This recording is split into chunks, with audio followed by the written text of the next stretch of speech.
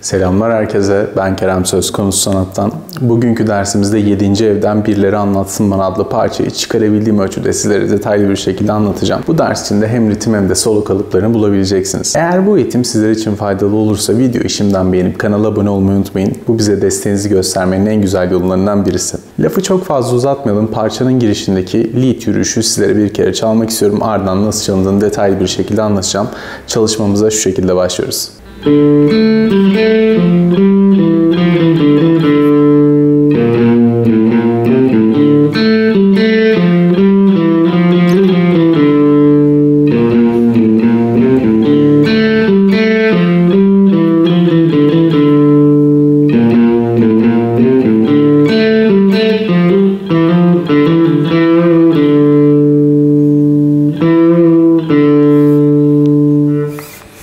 Parçanın girişinde yaptığımız lead yürüyüş bu şekilde. Şimdi çok fazla vakit kaybetmeyelim. Lead yürüyüşümüz şu şekilde yapıyoruz. Yukarıdaki tablardan takip edebilirsiniz. R telinde boş vurarak başlıyorum. Cümle cümle çalacağım. R boş, sol 2, R5, sol 2. Ardından da şunu ekliyorum. R teli 3, 5. Sonrasında ise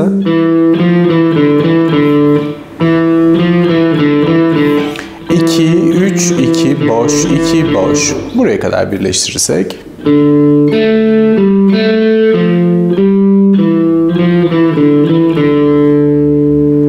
Ardından la teline çıkıyoruz. Şu figürü çalmamız gerekli. 1 1 boş 1 3 boş.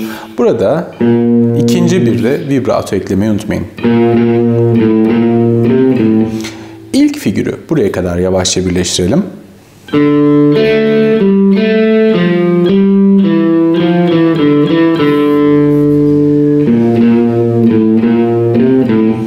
İkinci figürün girişi çok benzer. İkinci cümle şöyle.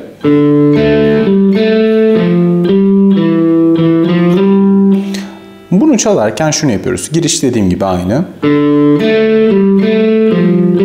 Buraya kadar aynısını çalıyorum. Boş, 2, 5, 2, 3, 5. Sonrasında ise 2,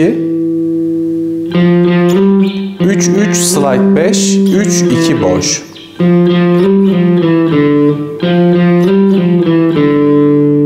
Birleştirelim buraya kadar.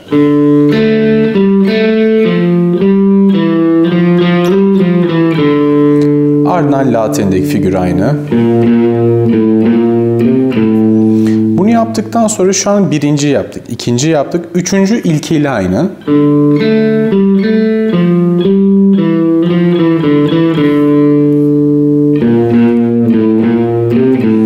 Dördüncü kalıbın yürüyüşü ise şu şekilde.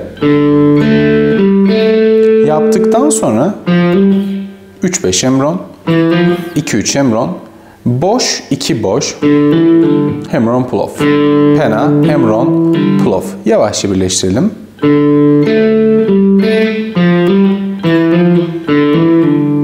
Bir kere daha alıyorum.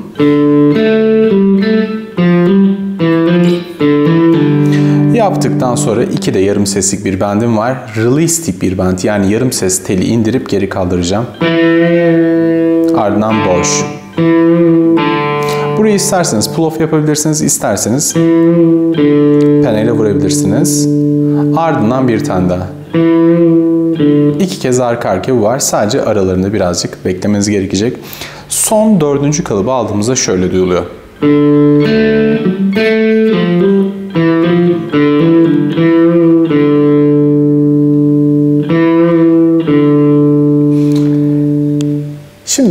hepsini yavaşça bir birleştirelim. Nasıl duyulduğuna bakalım. Tüm dört kalıbı birleştirdiğimizde şöyle duyuluyor. Şimdi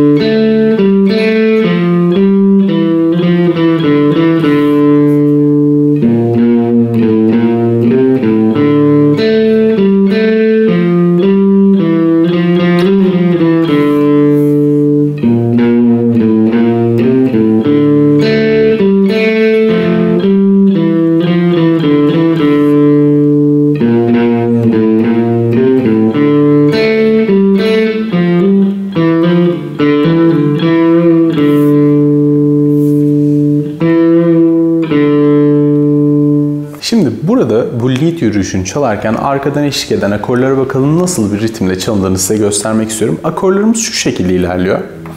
İlk akorumuz re minör. İkinci akorumuz do majör.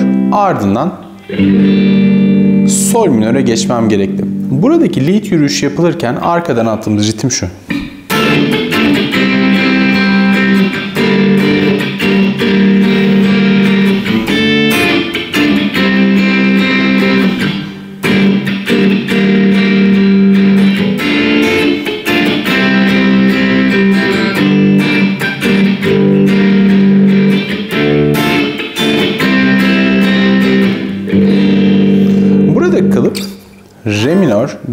Majör, Sol minör geçişi 3 kez çalınıyor. 3. turun sonunda Sol minörü yukarıdan aşağıya arpejleyerek bitirmemiz gerekiyor. Ritmimiz şu şekilde. Aslında temel olarak göstereceğim. Arada sadece staccatolar eklemeniz gerekli. Vur yani dead note, dead note, re minör, dead note, re minör. Yukarıdaki tablardan vuruş yönlerine bakabilirsiniz. Aşı, vuruş, aşı, bu ikinci aşı, üçüncü aşağıda re'yi vurup yukarı ardından tekrar çekeceğim. Son kez. Ardından do majöre geçiyorum. Burada ritmi istediğiniz gibi değiştirebilirsiniz.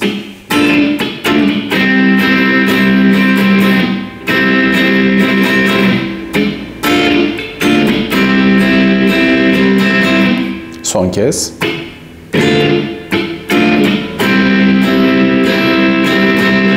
Ardından sol minör. Pardon. İlk vuruşum dead note.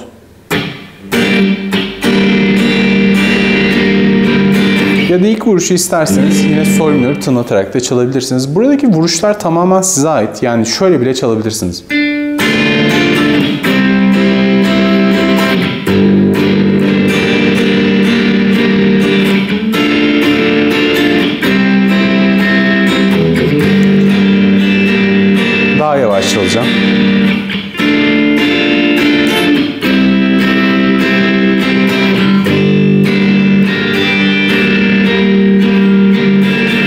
Ancak burayı çalarken aralarda staccato etkileri uygulayıp dead notları vurursanız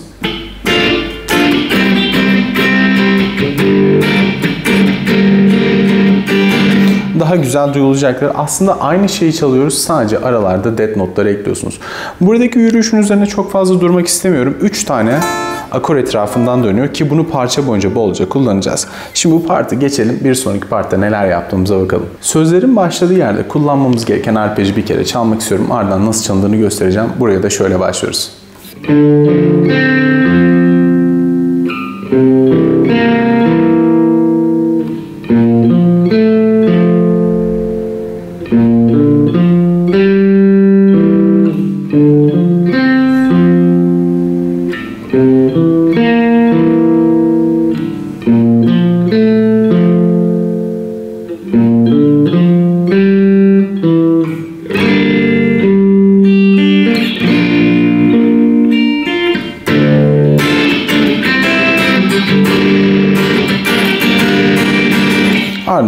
tekrardan ritim atacağımız parta geçiyoruz. Şimdi burada kullandığım yürüyüş şu arkadaşlar. La 5, Re 3, Sol 5.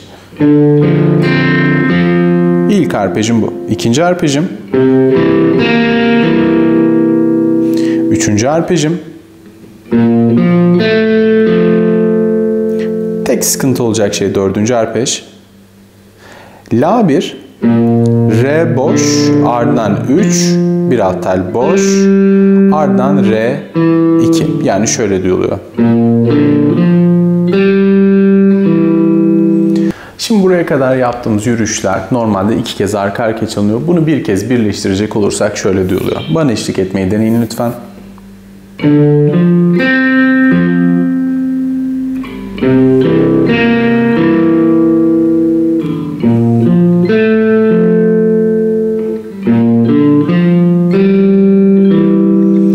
Çaldıktan sonra tekrar birinci pozisyon, iki, üçüncü pozisyon ardından dört tamamlamanız gerekiyor. Ardından sol akorunu yukarıdan süpürerek vuruyoruz. Sonrasında ise Sol minörü süpürdük. Ardından re, mi, si, sol arpejliyorum. Ardından si bemol majöre geçiyorum. Aynı arpej burada var.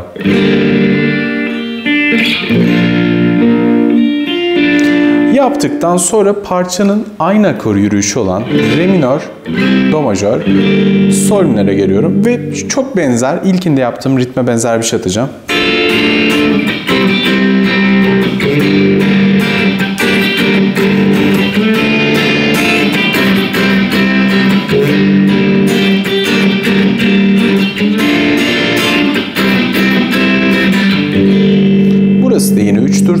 Sonuncu turda sol minörü yukarıdan aşağıya süpürerek vuruyorsunuz. Şimdi burada yaptığımız çalışmayı vuruş yönleriyle size anlatacak olursam şöyle ilerliyor. Başlayalım yavaşça.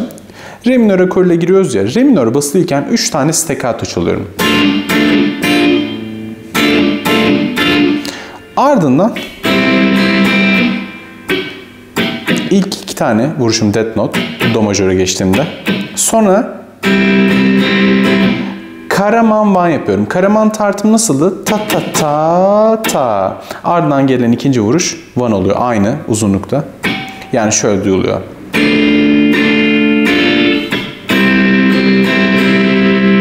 Bir kere daha.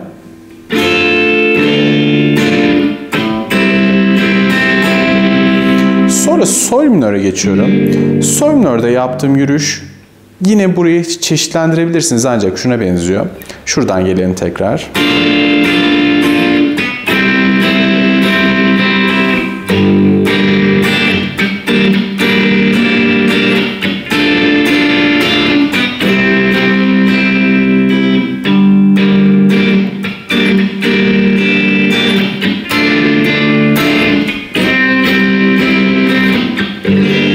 Son turda yukarıdan aşağıya minörü süpürerek vurmayı unutmayın. Buradaki ritim kalıpları üzerinde çok fazla durmayacağım çünkü bunları tartımlarla beraber size ifade etmem biraz zaman alacaktır. O yüzden yukarıdaki vuruş yönleriyle beraber ilgili kaç kere olduğuna dikkat ederek çalışırsanız iyi olur. Hatta bu videoyu yavaşlatıp benimle beraber aynı anda çalmayı deneyebilirsiniz.